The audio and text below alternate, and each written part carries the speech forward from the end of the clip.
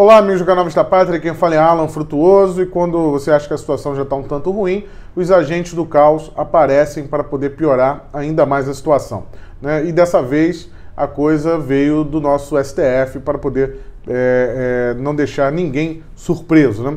Vamos lá, estamos falando aqui de um, uma recessão terrível que nós enfrentaremos, isso já é um fato, né? o próprio IBGE hoje lançou aí as suas métricas de fevereiro, mas os economistas já apontam que de março em diante, quando começou é, mais intensamente o lockdown, né, os resultados serão terríveis e isso, obviamente, vai gerar desemprego, gerar fome, tudo isso aí que a gente já tem alertado há bastante tempo. Para é, tentar mitigar essa situação, né, nós vimos aí o governo federal né, tomando algumas iniciativas, como hoje, por exemplo, o lançamento do aplicativo para fazer o pagamento de 600 reais né, para os informais e, no caso das, das informais que são chefes de família, o pagamento de 1.200 reais. Né? É, além disso, né, nós vimos também a medida do governo federal que trata da MP né, do trabalho, né, da legislação trabalhista, que permite ali né, né, que seja suspenso alguns contratos de trabalho para poder preservar os empregos e dessa forma também é, permitir que sejam feitos acordos individuais entre o patrão e o empregado para poder salvaguardar os empregos, né? E esse impacto terrível que nós teremos na economia não seja tão grande, né? A ponto de é, é, criar uma demissão em massa, pelo menos não de maneira imediata. E eis que surge né, o ministro do Supremo Tribunal Federal, o Lewandowski, e ontem, né, no dia de ontem, dia 6 de abril, ele defere uma decisão, né, uma decisão aí, é, monocrática, né, isso significa que ainda não foi votado no colegiado, no plenário ali do STF, mas essa decisão já causa um impacto gigantesco. É a decisão que coloca o sindicato na mesa de negociação. Então, para o Lewandowski, esses acordos né, que foram criados nessa situação extraordinária, durante essa paralisação por conta do vírus chinês, isso é, não será válido se a CUT, se a força sindical lá do Paulinho da Força não sentarem na mesa. No caso, os sindicatos poderão fazer acordos coletivos, né, é, dessa forma indeferindo aí os possíveis acordos individuais entre patrão e empregado. Isso é um problema gigantesco, porque já temos mais de 7 mil acordos registrados para poder salvar esses empregos. Então são pessoas, são trabalhadores e empregadores que já fizeram os acordos e fizeram a comunicação para o Ministério da Economia para poder preservar os seus empregos né, nessa, no momento em que esse lockdown, né, esse bloqueio terrível que está afetando a economia brasileira acabar. Então, quando ele faz isso, simplesmente ele causa uma insegurança jurídica terrível né, e o, o resultado prático disso aqui será demissões em massas. Demissões que, inclusive, já estão acontecendo né, em algumas redes grandes aí, é, é, de fast food, mas isso afetará a cadeia de trabalho como um todo, né? E isso impactará, obviamente, na economia, na fome, né? em tudo aquilo que nós temos alertados aqui como um efeito colateral, um efeito colateral muito grave desse lockdown que está sendo imposto. Né? Só para ressaltar, para não passar batido, a decisão, ela foi, na verdade, a ação, ela foi movida pela rede, né? A rede lá, aquela mesma que do senador DPVAT, né? Que fez, obrigou a população brasileira a pagar o DPVAT Dessa vez, eles entraram com uma ação né, no, no Supremo Tribunal Federal para inviabilizar esses acordos individuais. Dessa forma, né, isso cai como uma bomba e cai como uma perspectiva terrível aí para os trabalhadores formais né, que também serão afetados por essa crise. Então, como eu falei, né, quando você acha que a situação já está complicada, temos agora um ambiente político é, muito complicado, o presidente Jair Bolsonaro sendo colocado na parede, presidente Jair Bolsonaro tendo as suas decisões aí inviabilizadas por ministro, por membros do governo, por vice-presidente, por presidente do Congresso, uh, do Congresso e agora também pelo Judiciário, né? através dessa ação temerária do ministro Ricardo Lewandowski, o ministro conhecido pelo fatiamento da Constituição, né? Afinal, ele não fatiou o impeachment, ele fatiou foi a própria Constituição colocando uma vírgula onde não existia. Ah, só para não deixar passar batido, só para não passar batido também, o Gilmar Mendes, né? Que ontem, inclusive, eu já falei dele no meu vídeo é, aqui à noite.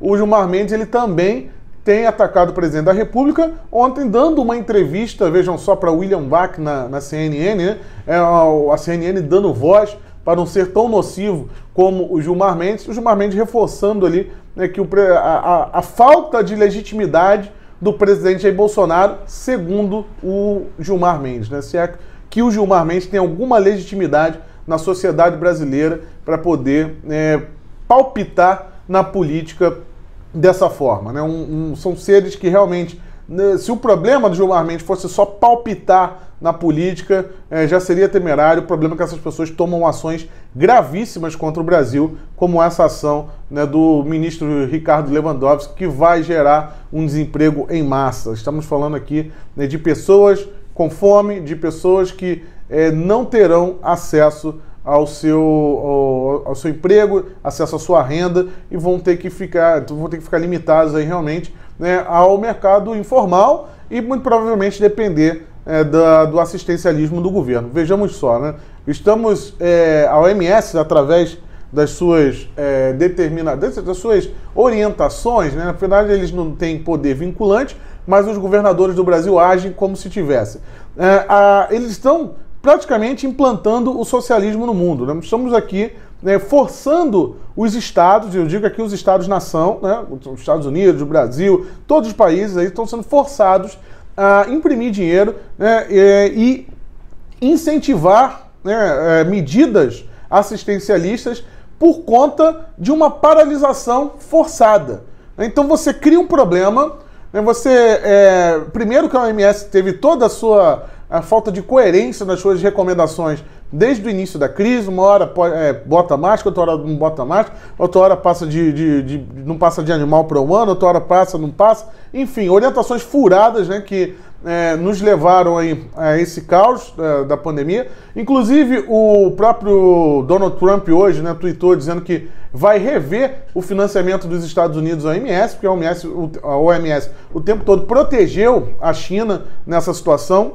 E vejam só, né, todo esse contexto global, essa conjectura, nos coloca em estados socialistas, em, em estados incentivando é, a, a, economia, né, como agora o próprio João Dória está forçando é, economia através de incentivos é, é, sociais. Governo federal do Brasil, que é um governo né, eleito com uma proposta, uma política de direita e também se vê obrigado, devido à situação, a se enquadrar, né, se moldar em políticas assistencialistas, algo que vai muito contrário, né? vai muito contra o que foi a proposta do governo. Mas entendemos que nessa altura do campeonato, na altura desse caos, né, é o que resta para o governo. Né? Afinal, eles estão dominando tudo. E a China, é, por trás disso aí, é, impondo né, as, sua, as suas ações, impondo o, o todo a sua, a, a, o seu poder imperialista em cima da, das nações ao qual eles compraram né, os territórios, compraram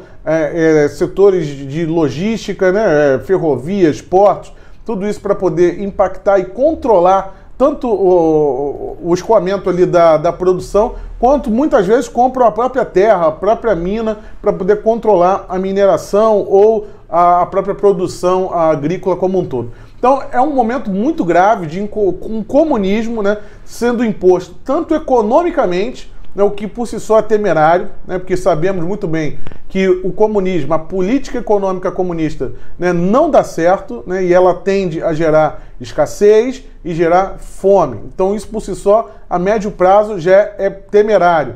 Agora, além disso, nós estamos vendo o comunismo sendo imposto também com a chancela aí desses órgãos supranacionais, como a OMS, também na, na parte das liberdades individuais. Nós né? estamos vendo aí é, conteúdos sendo removidos das redes sociais, estamos vendo pessoas sendo presas na rua simplesmente por ir e vir. É, enquanto isso, você vê, por exemplo, jornalistas da Globo fazendo a sua corridinha matinal e mandando você ficar em casa. Né? Que, Para quem não viu, hoje o apresentador do Globo News em pauta foi flagrado aí correndo, é, caminhando, na verdade, na, na praia de Ipanema. Enquanto isso, ele alega que ele não é do grupo de risco, então ele pode trabalhar e fazer, dar a corridinha dele. Enquanto isso, você é obrigado a ficar em casa, aceitar o assistencialismo do governo e ainda tem o seu emprego colocado em risco por conta de atitudes inconsequentes de ministros, ministros comunistas, ministros esquerdistas até a veia, como esse Ricardo Lewandowski. Né? Realmente é uma, um perigo para a sociedade. Esperamos que po possamos sair